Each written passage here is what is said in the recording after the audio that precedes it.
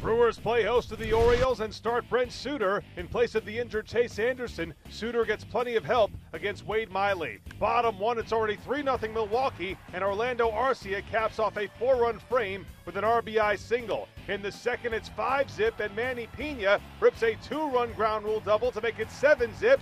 Miley would be out after one and two thirds. Bottom three now, it's a 7 1 game. Suter's at the plate against Jimmy Yacabonis.